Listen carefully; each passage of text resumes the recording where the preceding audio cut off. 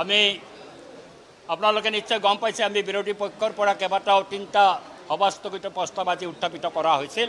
এই তিনিটা সভাস্থগিত প্ৰস্তাৱ আমাৰ চৰকাৰে তেওঁলোকে আজি এছেম্বলিত নাকচ কৰিছে আমাক আলোচনা কৰিবলৈ দিয়া নাই।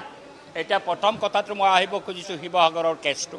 শিৱসাগৰৰ কেছটো সম্পৰ্কত অখিল গগৈ কৈছে ইতিমধ্যে কি মই যোগ কৰিব বিচাৰিছোঁ। আজি শিৱসাগৰৰ কেছটো অকল এটা বিচ্ছিন্ন কেছ নহয় একক কেছ নহয়। অসমত মহিলা ক্ৰমাগতভাৱে নিৰ্যাতন মহিলাৰ ওপৰত বাঢ়িছে। আমাৰ মুখ্যমন্ত্ৰী গৰ্বৰে কয় পাঁচ নম্বৰ স্থানলৈকে অসমক নিব।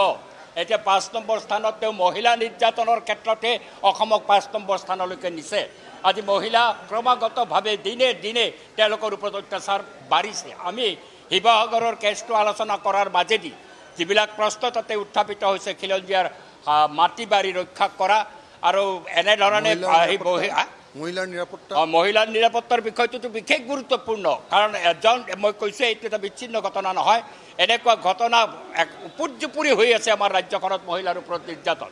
এই বিষয়ত কি নিৰাপত্তা তেওঁলোকক প্ৰদান কৰা যায় আৰু এইখন চৰকাৰ কেনেকৈ ব্যৰ্থ হৈছে এই সকলো কথা খৰচি মাৰি আলোচনা কৰাৰ প্ৰয়োজনটো আজি আছিল আৰু তাৰ পিছতে বিহিত ব্যৱস্থা গ্ৰহণ কৰাৰো প্ৰশ্ন আছে।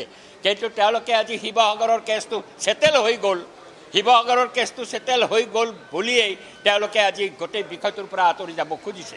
মাটি ক্ৰয় বিক্ৰয়ক লৈ পেলাই এটা সংবিধান বিৰোধী অৱস্থান গ্ৰহণ কৰি ধৰ্মৰ ভিত্তিত আজি মাটি ক্ৰয় বিক্ৰী কৰাৰ কথা তেওঁলোকে কৈ আছে।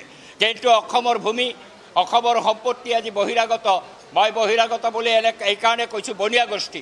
এই যে বহিৰাগত বুলি মই নকওঁ বনিয়া গোষ্ঠীয়ে আজি হস্তান্তৰ কৰা গ্ৰহণ কৰা আগ্ৰাসী ভূমিকা লৈ পেলাই আমাৰ সম্পত্তি আজি আগ্ৰাসনী ভূমিকা লৈ পেলাই আজি আত্মসাত কৰা তাক ক্ৰয় কৰাৰ যি ব্যৱস্থা এইখন চৰকাৰৰ দিনত অতি উৎসাহেৰে চলাই থকা হৈছে আৰু বনিয়া গোষ্ঠীক লাভৱান্বিত কৰাৰ যিটো ব্যৱস্থা কৰি আজি আমাৰ অসমৰ জনসাধাৰণক বিপদৰ মাজলৈকে ঠেলি দিছে এই ব্যৱস্থাটো তেওঁলোকে সমাধান নকৰে।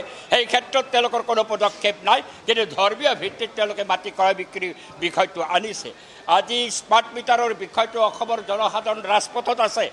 আজি আমাৰ যিটো অভিজ্ঞতা মোৰ নিজৰ অভিজ্ঞতা যে যোৱা বছৰৰ কথা কৈছে যোৱা বছৰৰ জুলাই মাহৰ যদি বিল চাই মই তেতিয়া তিনি হাজাৰ তিনিশ তিনি হাজাৰ পাঁচশ টকাৰ ভিতৰত মই বিল দিছিলোঁ। এইবাৰ মোৰ নিজৰ বিল আহিছে সাত হাজাৰ তিনিশ টকা।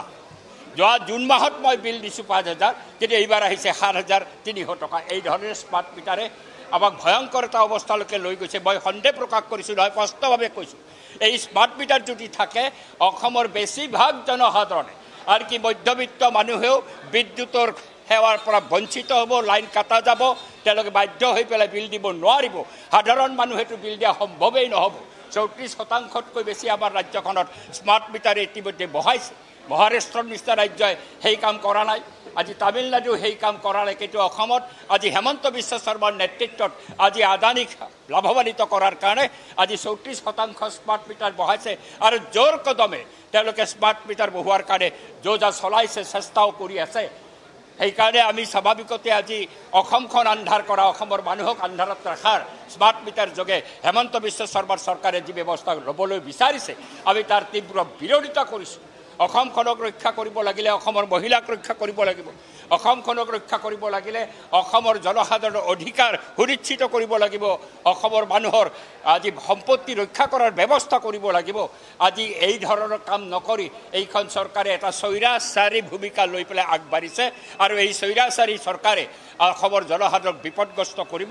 এই বিষয়বিলাক আমি গুৰুত্ব সহকাৰে আলোচনা কৰাৰ কথা যেতিয়া এজন মোচন যোগে আমি কৰিছিলোঁ তেওঁলোকে আমাক আলোচনা কৰিবলৈ নিদি পেলাই গাৰ জোৰেৰে আৰু স্পীকাৰে গাৰ জোৰেৰেই আজি তেওঁলোকৰ সংখ্যাগৰিষ্ঠতাৰ জলত তেওঁলোকে এই প্ৰস্তাৱ নাকচ কৰি পেলাই অসমক গণতান্ত্ৰিক ব্যৱস্থাটোকো আজি পাৰ্লামেণ্টাৰী ছিষ্টেমটোকে আজি দুৰ্বল কৰি দিবলৈ বিচাৰিছে।